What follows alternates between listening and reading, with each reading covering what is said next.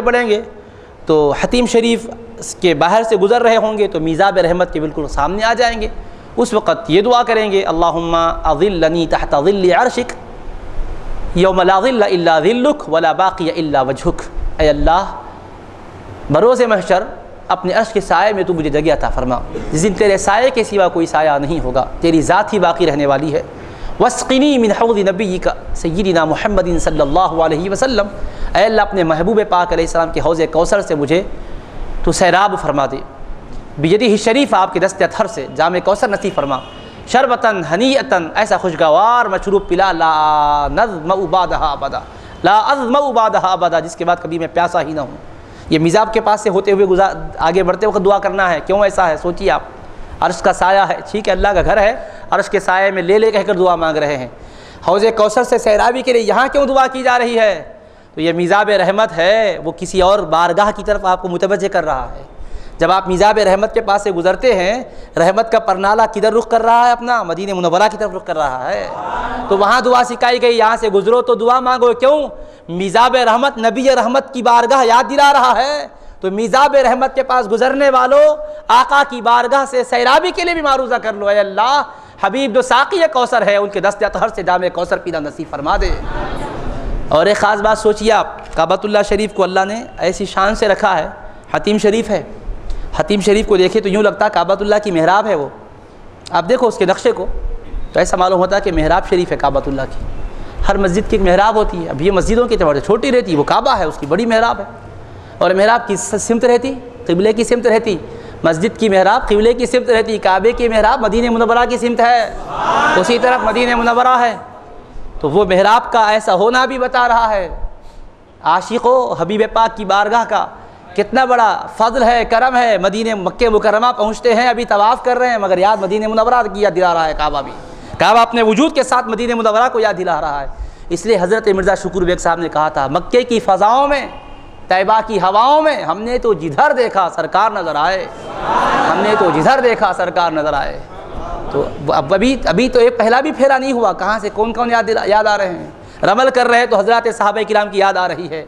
یا حضرت وقت کا استعلام ہو رہا ہے تو بزرگوں کی نسبت کا فیضان بتا دیا گیا ہے۔ ایک ایک مسئلے کا حل ہے، عقیدے کی باتیں بھی واضح ہو رہی ہے اپنے ایمان کو مضبوط کیا جا رہا ہے۔ ادھر ادھر کے ایسے گمراہ کن عقیدوں کے حامل نہیں ہے اہل سنت، مضبوط عقیدوں کے حامل ہے۔ ان کے عقیدوں کی بنیاد عبادتوں کے اندر نظر آتی ہے، طواف میں نظر آتی ہے۔ اس کے بعد پھر آپ وہاں سے آگے بڑھتے ہیں۔ دوسرا جو کونا ہے، اس طرف والا تیسرا، وہ کون سا کونا ہے؟ وہ رکن شامی ہے۔ رکن شامی کے پاس سے گزر رہے ہیں۔ وہاں کیا دعا کرتے ہوئے گزریں گے؟ اللہ جعلہ حج مبرورا۔ و سائم مشکورا ودم مغفورا و تجارت تبورا. یا عالم ما فی الصدور اخرجنی من الظلمات الى النور. یعنی اے اللہ اس حج کو قبول قبولیت والا حج بنا دے، گناہ ہمارے معاف فرما دے، ہماری کوشش کو کامیاب بنا دے اور تجارت کو نفع بخش بنا دے۔ اور اے دلوں کے رازوں کو جاننے والے، ہمیں تاریکیوں سے نکال کر اجالے میں پہنچا دے۔ اخرجنا من الظلمات الى النور۔ ابھی آپ کا طواف پورا ہوا؟ ایک بھی پھیرا نہیں ہوا نا؟ اب کون سے کونے پہ آئے؟ حضرت اسود سے نکلے؟ اس کے بعد دوسرا کیا تھا؟ رکن عراقی، پھر میزاب رحمت کے بعد کون سا آیا؟ رکن شامی۔ یہاں پر کیا دعا سکھائی جا رہی ہے؟ اے اللہ، اے دلوں کے جاننے والے، اخرجنی من الظلمات۔ مجھے اندھیریوں سے نکال۔ اندھیریاں، عقیدے کی اندھیریوں سے نکال۔ عمل کی اندھیریوں سے نکال۔ اخلاق کی اندھیریوں سے نکال۔ جہالت کی اندھیریوں سے نکال۔ دنیا اور آخرت کی اندھیریوں سے نکال۔ کدھر پہنچا؟ الان نور اپنے مصطفیٰ جو نور ہیں، ان تک مجھے پہنچا دے۔ ابھی پہلا ہی پھیرا ہے۔ کہاں کہاں مصطفیٰ کو کعبہ یاد دلا رہا ہے؟ سوچو۔ رکن شامی پر ہے۔ اخرجنی من الظلمات الى النور۔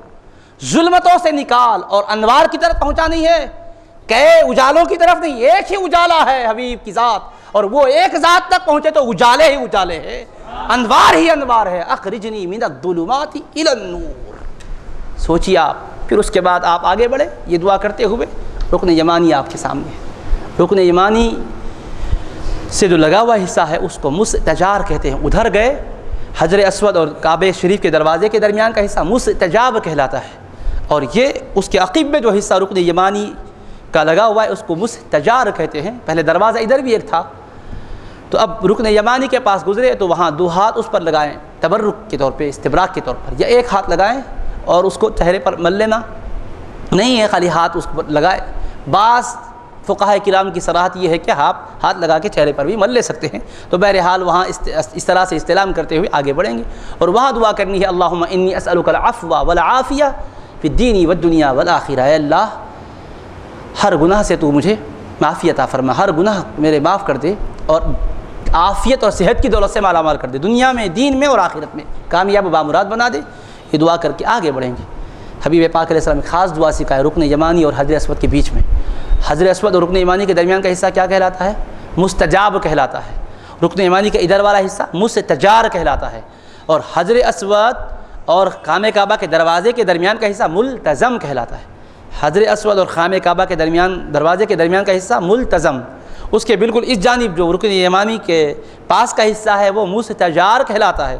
رکن یمانی اور حضر اسود کے بیچ کا حصہ مستجاب کہلاتا ہے۔ یعنی قبولیت دعا کا مقام، مستجار بولے تو پناہ لینے کا مقام ملتظم بولے تو لپٹ جانے کا مقام، وابستہ ہو جانے کا مقام۔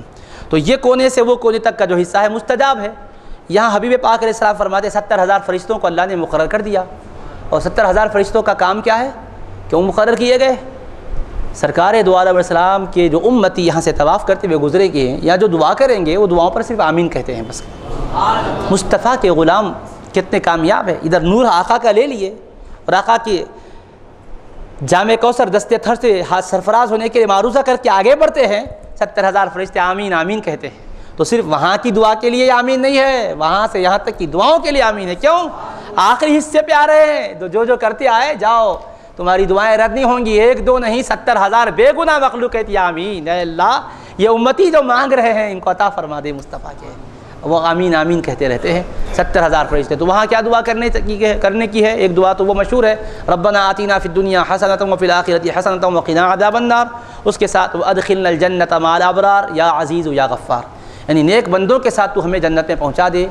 تو یہاں پر کیا سکھایا جا رہا ابھی پہلا پھیرا مکمل ہو رہا ہے۔ استلام کرتے وقت نسبتیں سمجھ میں آ گئی کہ کتنی شان والی ہے۔ اب خط پھر حضرت اسود کے قریب آ رہے تو کیا سکھا رہے؟ ادخلنا الجنت مع الابرار۔ یہاں اچھے لوگوں کی صحبت سے کیا ملتا ہے کہنے والے بھی یہ دعا کریں گے، اے اللہ، نیک بندوں کے ساتھ ہمیں جنت میں پہنچا دے۔ جنت میں ہمیں تنہا نہ ڈال دے، تیرے نیک بندے ولی جو ہوں گے، ان کے ساتھ ساتھ ہمیں بھی جنت میں لے لے۔ وادخلنا الجنت مع الابرار، یا عزیزو، یا غفار۔ اے غلبے والے، اے بخشش کرنے والے۔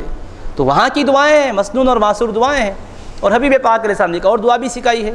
اللہم انی اعوذ بک من الکفری والفاقتی۔ و مواقف الخزی فی الدنیا والآخرتی اے اللہ، میں کفر سے تیری پناہ میں آتا ہوں، فقر و فاقے سے تیری پناہ میں آتا ہوں۔ یہ کیوں ہے؟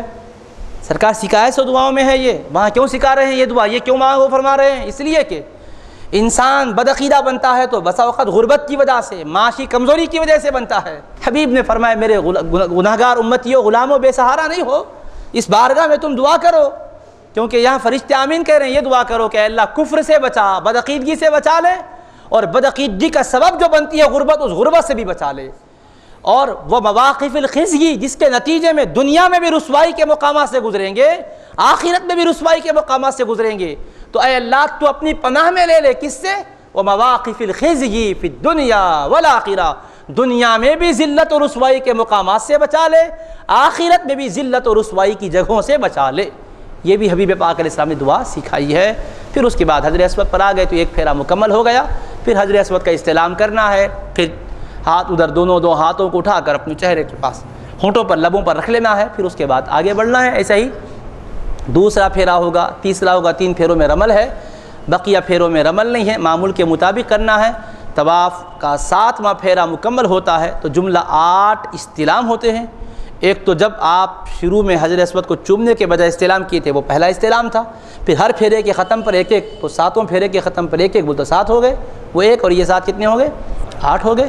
اب اس کے بعد آپ کو مقام ابراہیم کی طرف بڑھنا ہے اور یہ جو سیدھا کندھا کھلا رکھے ہوئے تھے، اب اس کو برابر کرنا چاہیے۔ یعنی جو چادر کے درمیانی حصے کو آپ بغل، سیدھی بغل کے نیچے سے لے کر بائیں کاندھے پر ڈال لیے تھے، اس کو ٹھیک کر لینا چاہیے۔ پھر اس کے بعد مقام ابراہیم کی بالکل پیچھے پہنچ کر۔ یہ آیت شریفہ پڑھتے ہوئے جانا وطخید من مقام ابراہیم مسلح یہ سب کر کے وہاں پہنچے تو پھر وہ اپنی عقیدوں کی تو معراج ہوگی وہاں پر۔ کیونکہ وہ مقام ابراہیم کون سا پتھر ہے، جہاں کھڑے ہو کر حضرت ابراہیم علیہ السلاۃ والسلام خانہ کعبہ کی تعمیر بھی کر رہے تھے، حبیب پاک کی جلوہ گری کی دعا بھی فرما رہے تھے۔ تو حبیب پاک علیہ السلام کی نسبت بھی ہے اس کو، حضرت خلیل اللہ علیہ السلام کی نسبت بھی ہے۔ یعنی خلیل